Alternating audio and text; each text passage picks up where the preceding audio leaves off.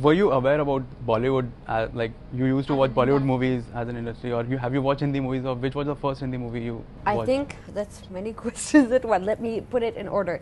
Of course, I was aware of the Bollywood industry because it's Hollywood and Bollywood are two biggest industries in the world. So of course, there is a recognition everywhere. I think in the world of Bollywood. I wasn't really aware of the films. Plus, later on, once I backed the role, I was instructed not to watch any Bollywood films until we wrap, so that I don't get influenced. Uh, my performance doesn't get influenced in any way. And the first, uh, the first Bollywood film I watched after we wrapped, I think it's Devdas.